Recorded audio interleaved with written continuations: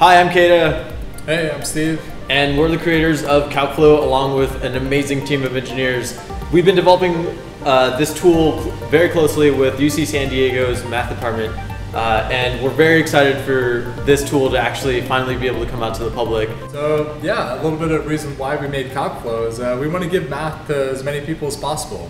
Uh, so at UC San Diego's uh, mathematics department, uh, they said, you know, hey, a lot of people don't understand these three-dimensional calculus things.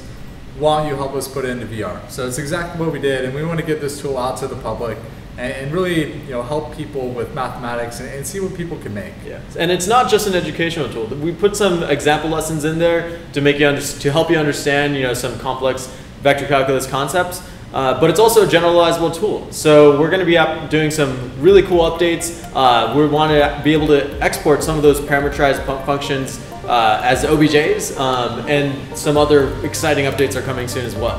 Um, so we're really looking to push this not just as an educational tool, but also as a, as a functional tool for scientists and engineers. Uh, so, so in engineering, uh, you know, we talk about you know flow and vector fields and, and all these concepts that are inherently three-dimensional, and we're sort of limited to you know doing it on a on a 2D surface. Uh, but now with with CalcFlow, you know, we're getting just down to the, the mathematics, and you can generalize it to you know engineering or whatever field, finance uh, you want. Uh, but we're doing it all in 3D here. We're going to keep uploading some tutorials and other modules that we're going to be adding to CalcFlow as time goes by.